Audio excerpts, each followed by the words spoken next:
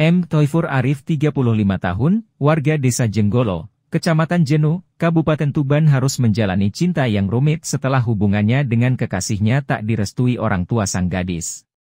Sekarang, ia harus berlapang dada, ketika cinta tulusnya harus berakhir di jeruji besi. Kepada wartawan Arif mengatakan jika jalinan kasih dengan gadis pujanya, bernama NF 26 tahun sudah selama lima tahun. Namun, selama menjalani hubungan asmara ia tak mendapatkan restu oleh orang tua sang gadis.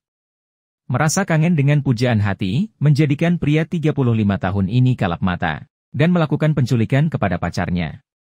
Didasari oleh rasa kangen tersebut menjadikan Arif membulatkan tekad untuk menculik NF ke Semarang, dengan menggunakan sebuah mobil berjenis Suzuki R3 dibantu dengan dua orang temannya.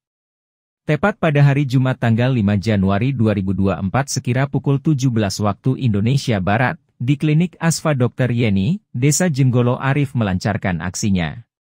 Lebih lanjut, Arif juga mengaku jika selama ia menculik NF ia tidak melakukan tindakan kekerasan apa pun. Sedangkan alasan ia nekat melakukan penculikan tersebut, dilatar belakangi karena ia sulit untuk berkomunikasi dengan NF karena tidak dapat restu dari orang tuanya. Sementara itu Kasat Reskrim Polres Tuban AKP Rianto berujar jika sebelumnya setelah mengamankan Arif, terdapat dua orang yang masuk dalam daftar pencarian orang karena keterlibatannya membantu Arif dalam melakukan penculikan.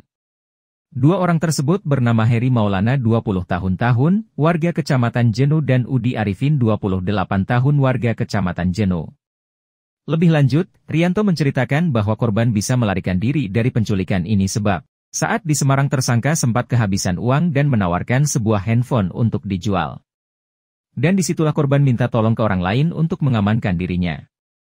Ditanya tiga orang ini diamankan di mana, Rianto mengatakan jika ketiganya diamankan di rumahnya masing-masing. Dan dari kejadian ini tiga orang tersebut harus mempertanggungjawabkan perbuatannya mereka diancam pasal 328 KUHP dengan hukuman maksimal 12 tahun penjara.